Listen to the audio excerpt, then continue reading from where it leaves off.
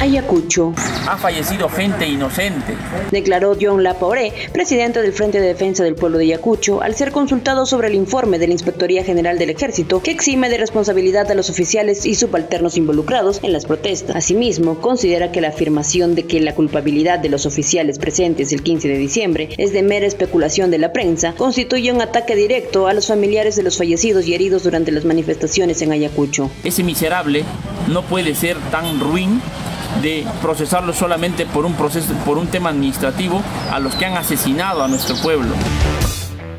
Arequipa el presidente del Frente de Defensa y Desarrollo del Cono Norte, Felipe Domínguez, anunció un mitin como jornada de lucha en homenaje a los fallecidos durante las protestas contra el gobierno del Cono Norte de hace un año. La cita es para este jueves 18 de enero, donde también definirán las fechas de las próximas movilizaciones a Lima y paros en Arequipa. No tanto bloqueo, sino movilización. ¿Por qué? Porque van a estar con una bandera negra y en la otra mano van a tener una bandera de Palestina, porque también es un acto de solidaridad con el pueblo palestino.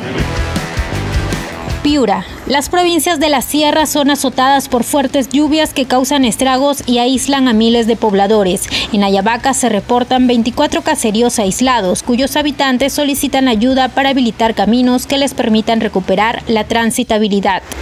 El Ministerio de Vivienda retomó los trabajos de recuperación de vías en los distritos de Montero y Lagunas, donde se reportan deslizamientos. En Huancabamba, otra de las provincias afectadas, el alcalde Hernán Lizana solicitó el reinicio de los trabajos en la carretera Canchaque-Huancabamba. Es el responsable, Provida Nacional. ¿Cómo puede ser posible que la maquinaria ahí oxidándose y metros abajo con huaicos inmensos ahí? Ica, una menor de 14 años de edad, identificada como María Jesús del Rosario Ramírez Uribe, lleva una semana desaparecida. Este hecho se dio en medio de la ola de violencia e inseguridad en la región. Hasta el momento, lo último que se sabe es que habría sido vista en la provincia de Palpa, cerca a un ciudadano extranjero. La menor desapareció el pasado 10 de enero, tras salir de su colegio Santa Rosa de las Américas en el centro de Ica. Unas cámaras de seguridad la captaron en los últimos instantes como si alguien la siguiera. Un día antes, ella había confesado a su compañera que un hombre mayor la había molestado. La familia descarta la hipótesis de una fuga con algún enamorado, pues no se llevó absolutamente nada, ni ropa ni dinero. Ella desapareció mientras su madre había viajado a Lima al estar delicada de salud.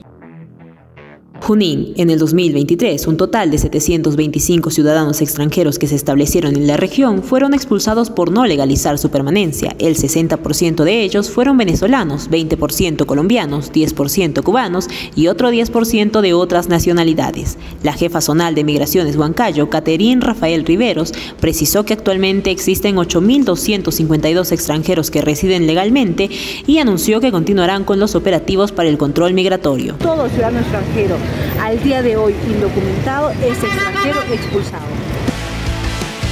La libertad. César Acuña, actual gobernador regional, se pronunció sobre el recién nombrado alcalde de Trujillo, Mario Reina, tras la suspensión temporal de Arturo Fernández.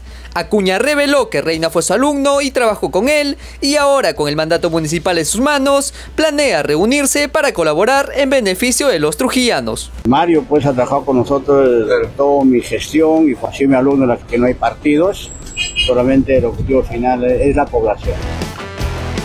Lambayeque. Tras una reunión de coordinación, los empresarios agrupados en la Cámara de Comercio y Producción de Lambayeque acordaron unirse al municipio de Chiclayo para impulsar una mesa técnica de trabajo a través de la cual enfrentar el serio problema de limpieza en la provincia. Bien por la iniciativa de la Cámara de Comercio y nosotros estamos precisamente en ese afán. Eh, ya coordinamos la instalación para el día jueves 7 de la noche y la instalación de lo que significa la marca Chiclayo, que también la venimos trabajando desde la municipalidad para el día viernes a las 7 de la noche, también en el Palacio Municipal. Actualmente la comuna provincial cuenta con solo 11 compactadoras y más de 200 toneladas de basura se quedan sin recoger todos los días en la ciudad.